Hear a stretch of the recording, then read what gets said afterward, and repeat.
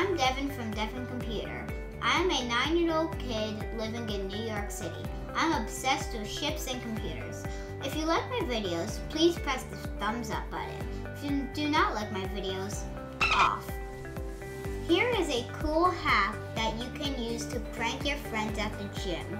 I found a way to access the treadmill's hard drive to control features such as max time amount allowed, on-screen message, and language. To access the treadmill's hard drive, hold the pause button and press the clear button two times.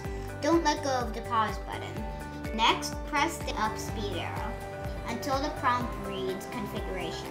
Press enter. Next, you can change the settings you want here. To see what changes you can make, press the up arrow for time. The system settings that you can change will be displayed.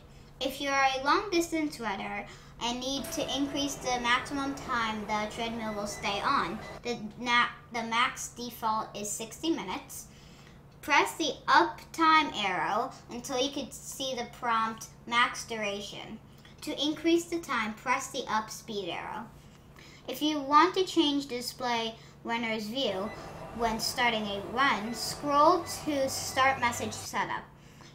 Use the time incline and speed arrows to type your message. When you're done, press the green enter button and then the red clear button. Check out the inspirational message I left the other gym